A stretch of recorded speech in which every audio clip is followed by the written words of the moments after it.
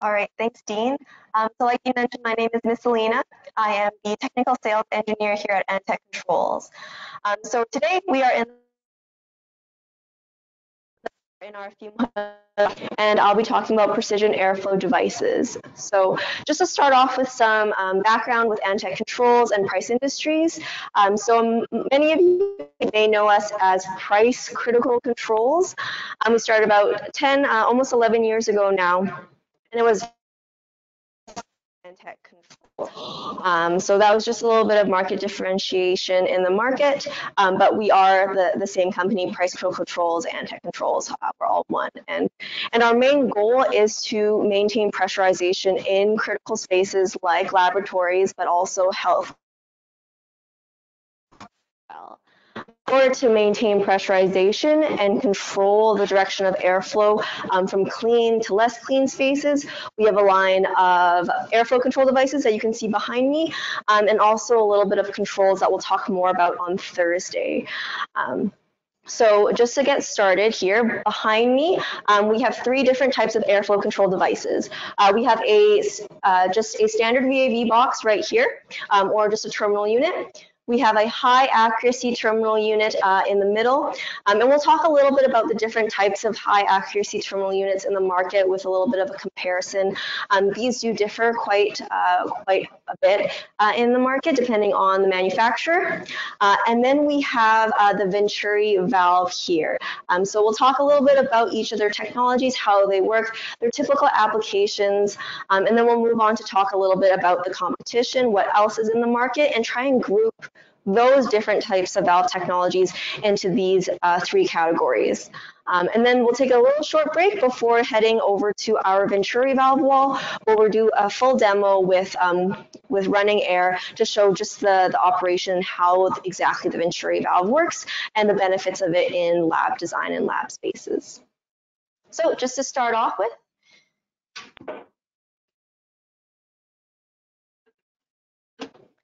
This is a terminal unit. I think most of you guys are familiar with it or also refer to it as a VAV box. Um, so this will refer to as a closed loop type of device.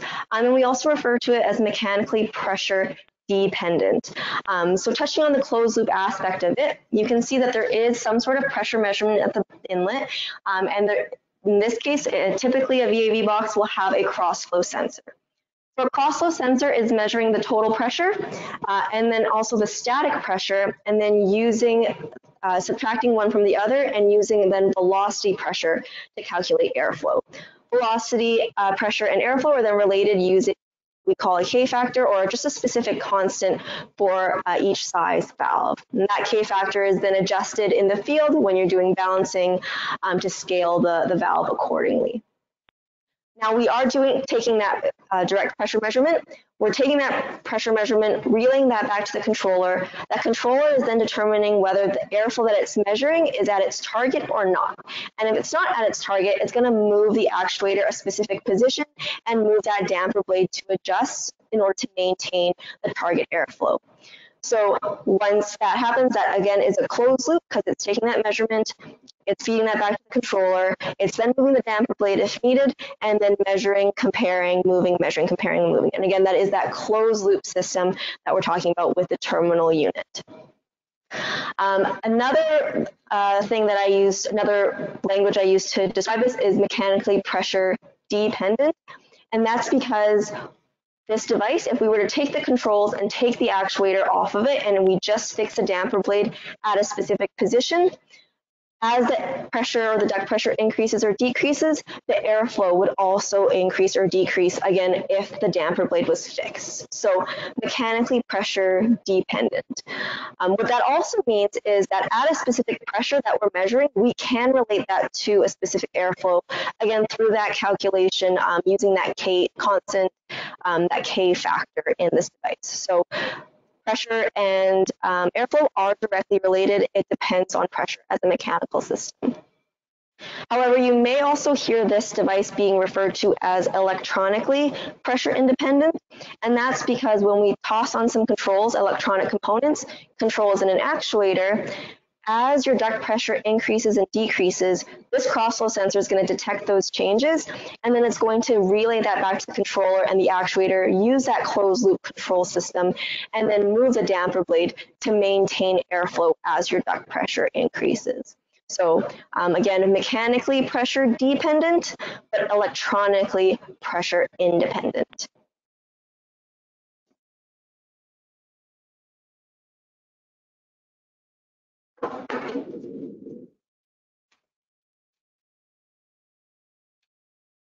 Now, taking a look at a high accuracy terminal unit. A high accuracy terminal unit is essentially just that. It has a lot of the same mechanical components as just a regular terminal unit.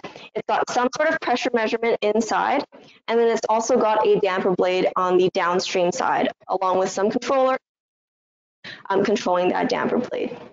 So similar to a regular VAV box, it's also closed loop control taking in some sort of pressure measurement, it's relaying that back to the controller, and then it's telling the actuator whether to move, open, or close, or stay in the same position, and then continues that cycle.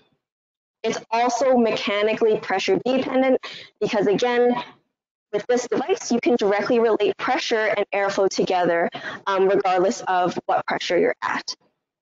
Now, one of the main differences you'll notice is that we don't use a crossflow sensor in a high accuracy terminal unit.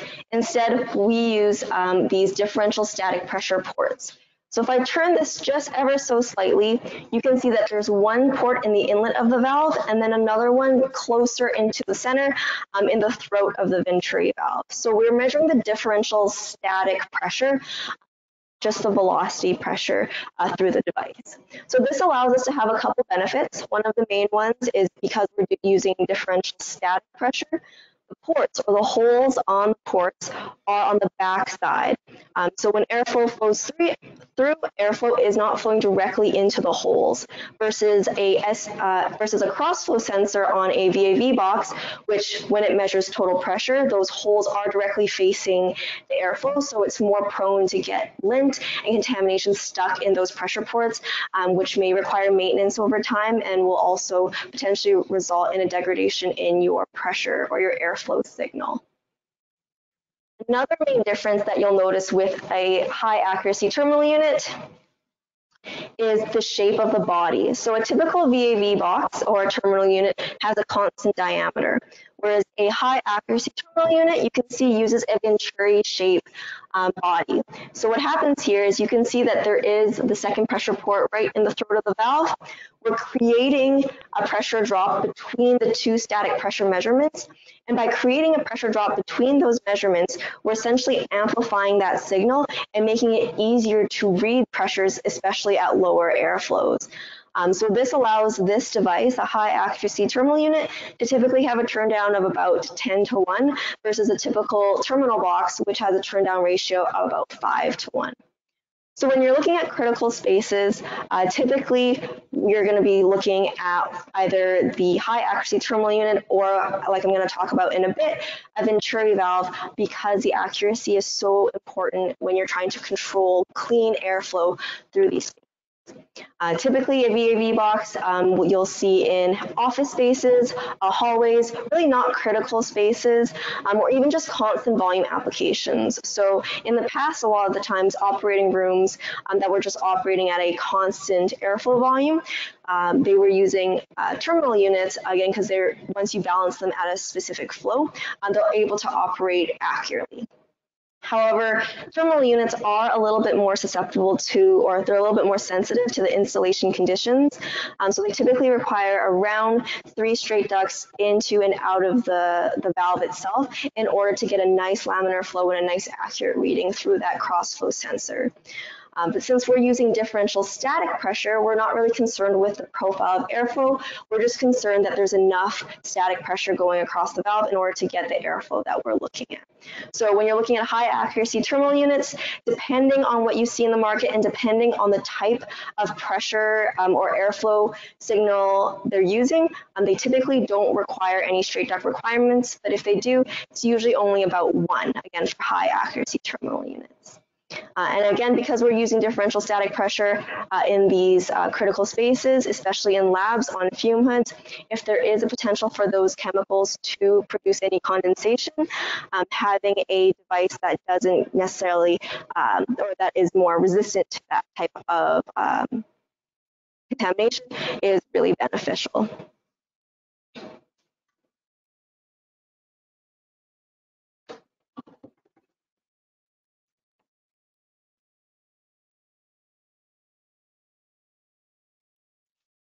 So the next valve we're going to look at is a Venturi valve. So the Venturi valve is going to be completely different than a regular high accuracy terminal unit or even just a uh, terminal unit itself. So a Venturi valve is what we refer to as open loop control versus a high accuracy terminal unit or a regular terminal unit, which we refer to as closed loop control. And the reason being, with a Venturi valve, we're not actually measuring airflow in this device. So what we're doing is we are actually, we're taking a factory calibrated curve that maps the position of this entire cone spring assembly, connected this um, actuator lever, lever connected to the actuator, and we're using that position to map to a specific airflow. So for instance, this position that this uh, actuator is at could be at 500 CFM. But if I were to clutch this actuator and move this entire assembly, let's say close, move it closer uh, to the throat of the valve, that could be targeting, let's say, a CFM based on uh, the output from the actuator. So again, we are looking at a specific position and reeling that back uh, to a specific airflow. Um, and that is, again, it's factory calibrated. Um, it's not measured in the field. Um, so that's what we refer to as open loop. So once it hits that position, it's not going to try and make small adjustments. It knows based on the actuator voltage that it's at the right position. Now that comes with a couple of conditions um, that I'll address here. The first one is the operating pressure. So for that calibration curve, we do ramp the pressure up and down within a specific uh, pressure range. Uh, typically, uh, medium pressure valves for a Venturi valve will be 0.6 to 3, um, and a low pressure will be 0.3 to 3. So taking a medium pressure valve, for example, uh, 0.6 to 3, we're going to ramp the pressure up and down within that range, and then we're going to open and close the actuator at each pressure position as well, and that creates that curve that we're looking at. And that pressure range that I mentioned, again, for a medium pressure, 0.6 to 3, that 0.6 inches defines right when that spring gets becomes engaged, um, and that 3 inches defines right before that spring completely compresses on itself. Um, so that spring is always operating within a specific design range. It's not going to be overly compressed, and it's also not going to be overly stretched um, in its operation. And as long as that valve is seeing that differential static pressure across that valve within the operating pressure range, we can guarantee that that airflow curve or that characterization curve is accurate to plus or minus 5%. So as a part of that, because the operating pressure range is so crucial to the operation of this valve, we are still measuring that differential pressure. So there is a port on the um, outlet and on the inlet of the valve. Um, now this pressure, this differential static pressure, isn't being used for control. Again, it's just being used for monitoring to let you know whether your valve is within its proper operating range. Uh, the second thing that we, uh, the second factor that we use to uh, monitor um, the device, but again, not used for control, is a potentiometer. So under this little uh, silver bracket, there is a potentiometer that's tied directly to the position of this cone spring assembly. So that potentiometer provides electronic flow feedback as to where the true position of this entire cone spring assembly is. Um, and that's one, it's good for airflow feedback when you're looking at your entire room calculation for offset, but it's also beneficial in terms of troubleshooting so you can determine whether there's actually anything blocking um, the entire cone spring assembly from moving. Um, the last thing I'll mention here about a Venturi valve um, is that it is mechanically pressure independent. So I mentioned that the uh, high accuracy terminal unit and a typical VAV box is mechanically pressure dependent. Um, so that's because this Venturi valve is made up of two mechanical devices, uh, a high accuracy terminal unit and a regular VAV box. The only mechanical system that's moving is the damper blade. In this case, we have the entire cone spring assembly attached to the lever, um, like I mentioned or that I showed earlier. That's one mechanical system. The second mechanical system is this cone spring assembly on the inside. So I'll just open up a little bit there just so you can see me um, move the cone spring assembly a little bit. But if, um, if you have a change in airflow target, your actuator is going to move just like I showed there. Now, when you have changes in duct static pressure, what's going to happen is your, let's say your duct pressure increases, it's going to push on this cone spring assembly and reduce the open area that is allowed for airflow to flow through which will in turn balance out and allow you to maintain airflow. So you can see here when I push on this cone spring assembly, the actuator isn't moving. Um, all that's happening is that spring is compressing and it's just reacting to a balance of forces. So one of the benefits of that is that it is virtually instantaneous, again, to specifically to changes in duct static pressure, which is really beneficial in lab spaces with lots of fast acting fume hoods, um, especially when they're all ducted together on one manifold. So having that virtually that instantaneous change speed of response with changes in duct static pressure, again, is really beneficial because if one person was at one hood changing or opening closing their sash, you can guarantee that it's not going to affect the other individuals at other fume hoods um, because this is acting virtually instantaneous. If you had a high accuracy terminal unit instead, um, in lab spaces, they're still able to control airflow into and out of the space, but the time it takes to reach that final airflow may just take a little bit longer because it does need to do that measuring, moving, measuring, checking, and that continuous closed loop cycle.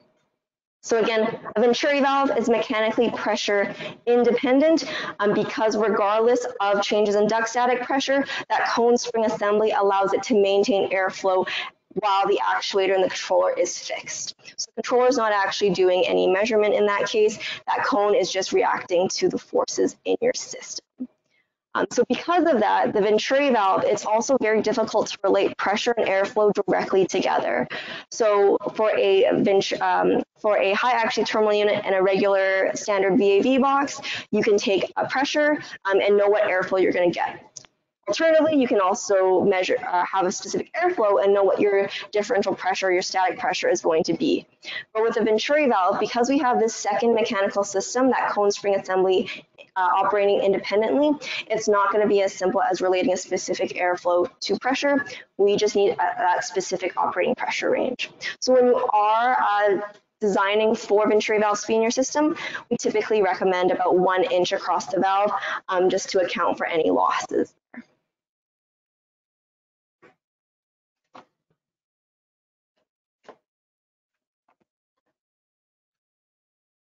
So now I'm going to move on to talk a little bit about um, the other valves in the market. And again, we're not here to tell you that one is better than the other. We're just here to uh, educate on what the different types are that are available and kind of group them into these categories, mostly the high accuracy terminal unit and the Venturi valve as well.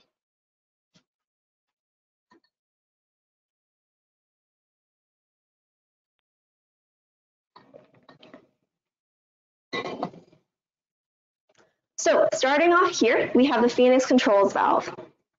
This is a true Venturi valve as well, just similar to the last one that I showed. It's open loop. It, it uses open loop control and it's mechanically pressure independent. So it's got that cone spring assembly inside as well, just to, to allow for that mechanical pressure independence. And it's got this lever arm that you can see here moves that entire assembly into and out of the valve to control for airflow. When you're looking at Venturi valves in the market, most of them in terms of the mechanical aspect themselves are going to be very similar in how they operate. The main difference that you're going to see is really on the control side. And we're not going to talk too much about the control side today. We're going to touch a little bit more on Thursday. Um, but one of the main differences um, that I mentioned earlier is the differential pressure reading across the valve itself. So the Antec Controls Venturi valve, we do provide a true pressure reading, like I showed, that differential pressure reading across um, the entire valve, just to see what that operating pressure range is, and just to ensure that we are operating, again, within the um, acceptable pressure range to allow for plus or minus 5%. Whereas typically on a Phoenix controls valve, you'll see more of a pressure switch uh, versus just a pressure reading. So a pressure switch will essentially allow you to uh, see whether your valve is within range or not range. And again, there's no pro, um, not, one is not better than the other. Having a true pressure reading allows you to have a little bit more visibility of your system over time, especially if you want to, um, your focus is on energy savings and you want to do fan static reset to potentially uh, turn down your fan if your valves are operating a little bit higher. But on the other side, having just a simple switch allows a little bit more simplicity in your system and that you don't need to double check whether you have a low or medium pressure valve. You just know whether you're in pressure or out of the pressure range. So that's the Venturi uh, valve from Phoenix Controls. Looking at the airflow control valve from Siemens now, you'll notice that this also uses a cone spring assembly. You can see the cone spring assembly on the inside, but you'll also notice that there is a differential pressure measurement at the front. And that's because the Siemens valve, although it is a Venturi valve and it uses a cone spring assembly, it is considered a closed loop valve.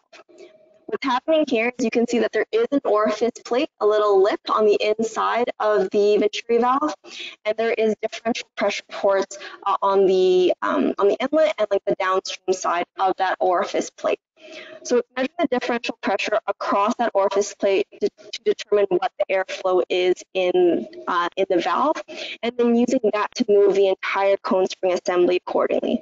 And then using the cone spring assembly to uh, adjust for any small changes in the duct pressure. So again, a Venturi valve that's using closed loop control, not open loop like the Venturi or the Antec controls valve. So one of the disadvantages to a closed loop controlled venturi valve is the fact that, of course, with any type of pressure measurement, um, there's always room or there's always potential and risk for contamination, uh, which may require maintenance over time. So moving on to the critical room controls valve.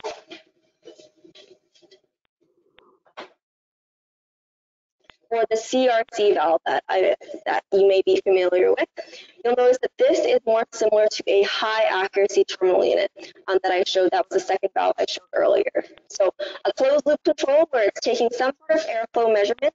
In this case, it's also static pressure measurement, except instead of using the ports down the diameter of the valve, it's using static pressure ports around the circumference that you can see by this black tape here.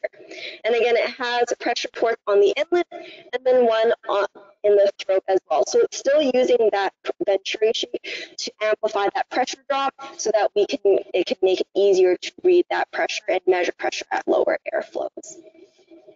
Again, it has a damper blade as well, um, mechanically pressure dependent. Uh, now, one thing I mentioned with the Antec Controls high accuracy terminal unit is that it doesn't have any straight duct requirements.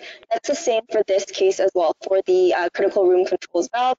The only thing you just want to keep in mind is that this assembly is a little bit longer. It is taking into account that straight duct requirement into the actual the valve assembly itself. So that's that straight duct requirement right before uh, the static pressure sensors.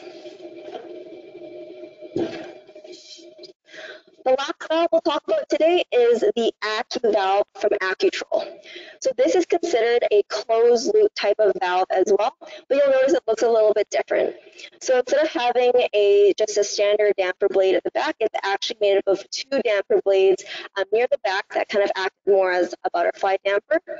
Um, and then instead of a pressure measurement or differential static pressure measurement, this device uses vortex shedding.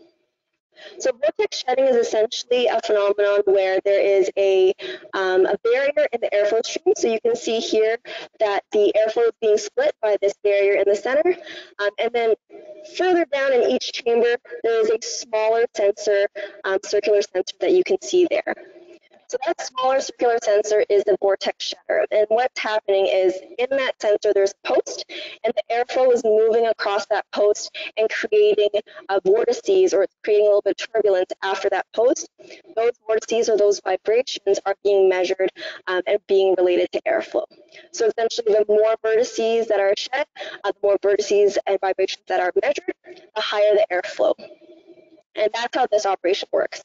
Um, one of the benefits of it is that um, it can be uh, or is uh, marketed as a potentially uh, very accurate as well, not necessarily more accurate than um, critical room controls or Antec controls, still plus or minus 5%.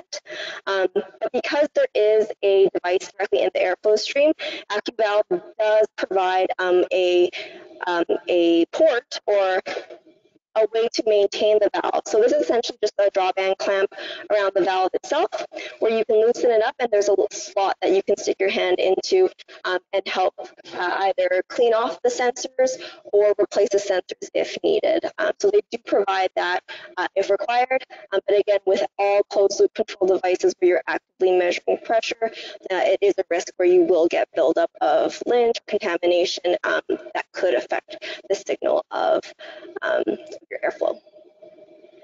Uh, so with that being said, I'll talk a little bit about the competitor valves there and also the different types of valve technologies. We'll move on to our Venturi valve wall that demonstrates that mechanical pressure independence and talk a little bit more about the benefits of that in a lab space. Um, so we'll be back in about five minutes, so feel free to grab coffee um, or uh, just take a quick break or stretch from your um, from your seat, and we'll uh, we'll see you soon.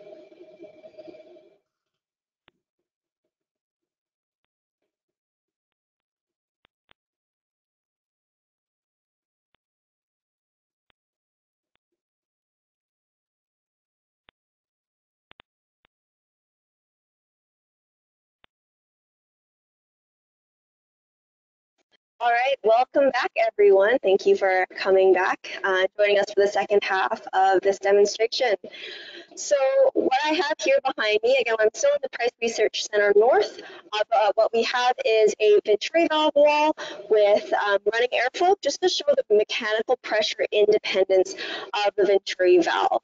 Um, and the, the, benefits of having that with a fast acting or fume hood space um, with lots of, of, fume hoods in there. So this setup here, we've got a Venturi valve on both this top and the bottom. We're just going to focus on these top two valves here. You'll notice that this top one is silver, whereas this one's kind of coated in a brown um, type of coating. So the silver one is bare aluminum. Uh, all the uh, Antec controls Venturi valves, both um, Venturi valve and high terminal units are, are just bare aluminum um, with some stainless steel hardware.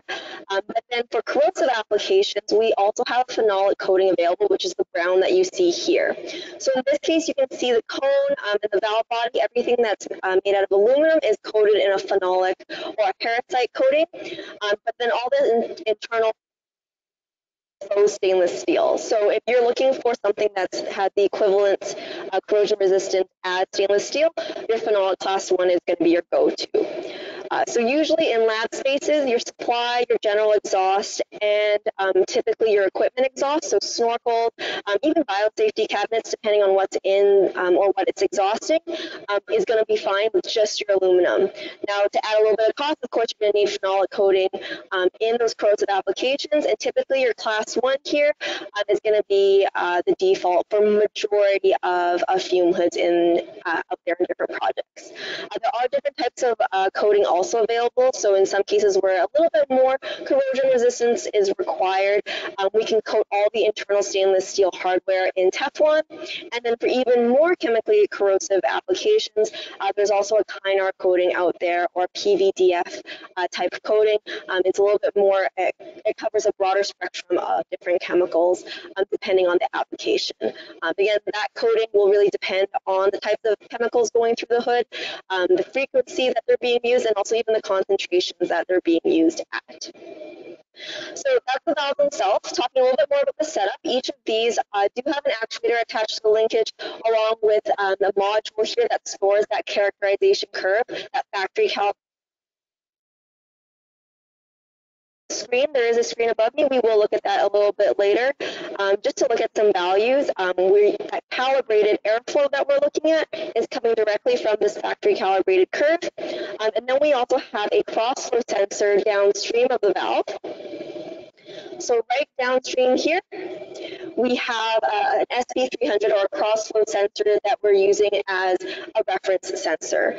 Um, so again, we're using that reference sensor because venturi valves don't actively measure the pressure um, in the system, but we're using that in this case uh, just to see that we can meet that plus or minus 5% in this system. You wouldn't typically need that in a real case scenario um, or on a actual job site. Again, this is just used for demonstration purposes. Um, and then when we look at the screen in a little bit, we'll also see the, the flow comparison. And that's just the difference between the reference uh, and the calibrated airflow. And we're just looking to make sure that it's within plus or minus 5%. So with that being said, I am going to start to turn on the airflow, so it might get a little bit loud. I'm going to try and speak up, but if you guys have any trouble hearing me, just uh, mention it in the chat or in the questions, and I'll, uh, I'll raise the, my, uh, my volume.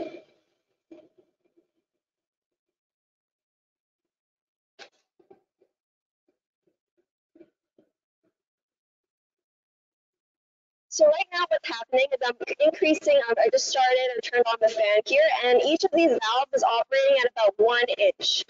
Um, right now we're targeting about 350 at this top valve and about 250 CFM on this uh, middle valve here. Um, but what I'm going to do in this first demonstration is I'm going to increase that pressure to about two inches. You're going to hear a little bit get a little bit louder, um, but you'll see this cone spring assembly adjust accordingly um, in response to that change in fan pressure or that static pressure. What you're also going to notice is that this actuator doesn't move at all. And if you're having any trouble um, seeing whether the actuator is moving out or not, another frame of reference is going to be this entire uh, assembly here. So this shaft is connected directly to the actuator. So if this doesn't move, the actuator isn't moving. If it does move, of course the actuator is moving. And this all we're doing is changing the static pressure.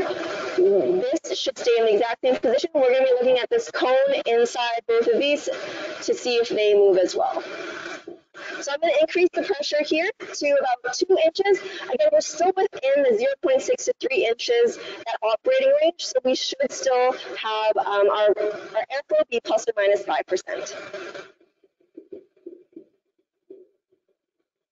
So you can see there that that valve or that cone spring assembly sinks further into the throat of the valve. You'll notice that uh, because we're increasing the pressure, we want to decrease the allowable airflow or decrease the open area. So that's why it sinks further in. Now I'm going to lower the pressure again and you'll see the cone spring assembly sink further out of the throat. And I'll try to use my finger as a reference because the change is a little bit small.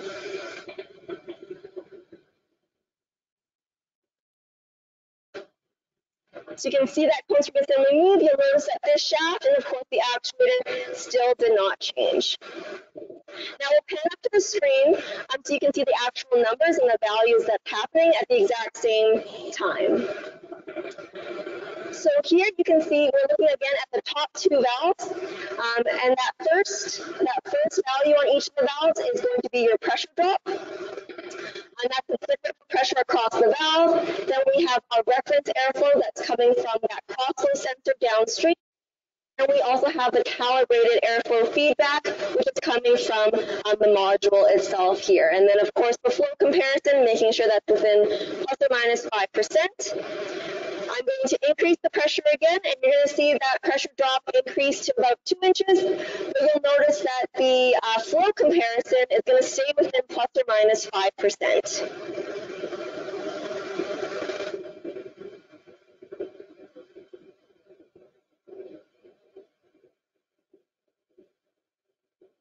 So now we're at two inches, and you can see that the flow comparison, again, the comparison between actual airflow and the calibrated airflow is within plus or minus, again, 5%. Now, I'm going to show another demonstration here. We're going to go back to the valves.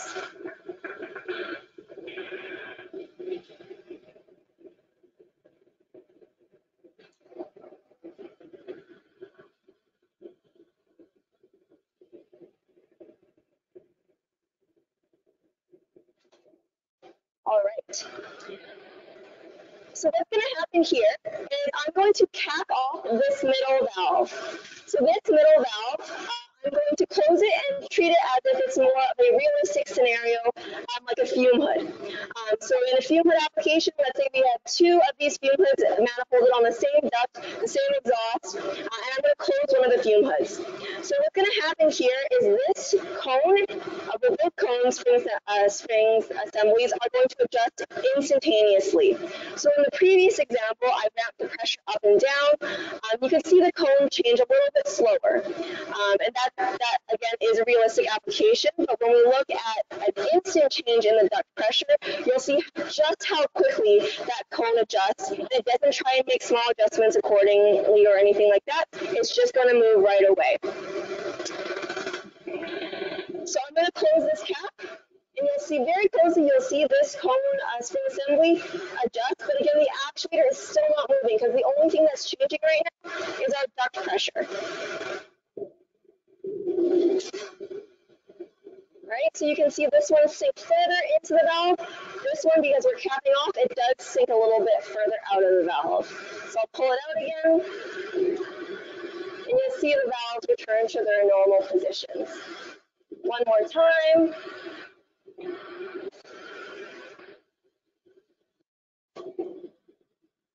And again, that's mechanical pressure independence. Now we'll take a look at the screen above that shows another type of visual of the exact same demonstration. So what we have here are a couple graphs. The one at the top is just the green. That's going to be our static pressure in the system, um, specifically in the top valve. And then on the bottom one, we have the reference airflow of each of the valves. So you can see this green one here is what we're going to focus on. That's going to be this top valve the valve that I'm capping, this middle one on the bottom here, that's going to be the red one. So that's a little hard to see, but if you follow my finger there, that's going to be that red line that you see there. So what's going to happen when I cap this valve off, you'll see that it already kind of happened earlier. But what's going to happen is that airflow is going to drop because we are, again, we're capping that valve so no airflow is losing pressure. But you'll notice that that green line stays relatively stable. Terminal unit or a high accuracy terminal unit where it has to remeasure, uh, where uh, it needs to measure and then compare and adjust the damper blade. It's make, make small adjustments to get back. It's just going to adjust, again, that cone springs assembly instantaneously, so you won't see any fluctuations in that reading. So I'm going to close the cap right now, and you're going to see that red line drop. I'll try to use my finger as a reference so it's easier to see, but that's that red line right there. You can see that airflow dropping, but you'll see that that green airflow, again, this top valve, uh, responds instantaneously and remains pretty much constant. So again, that's mechanical pressure independence. For the most part, that's why we recommend having venturi valves in lab spaces because they can respond so quickly to uh, fast-acting fume hoods in these spaces. And again, not only on the fume hoods, but on the supply and general exhaust, so that they're tracking what's happening at the fume hoods in order to maintain your negative space in lab lab applications. Um, with that being said, uh, high accuracy terminal units can also be used in lab applications um, they'll still be able to have the same accuracy, plus or minus 5%, um, but the only difference is, is that because they are closed loop, they do uh, adjust uh, to maintain airflow, so it may take a little bit longer to reach your uh, desired airflow when you have changes in duct static pressure. So maybe in smaller labs you could use a high accuracy terminal unit, but definitely in larger labs where you have a lot of variable volume fume hoods manifolded together, you probably want to use your venturi valves.